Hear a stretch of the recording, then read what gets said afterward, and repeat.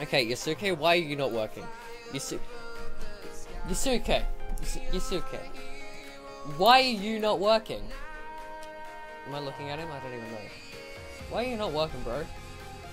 Why are you not working? Come on, I give you a quest. I give you your very own quest, and you're not working. boy. I don't know if I was looking directly at him. He said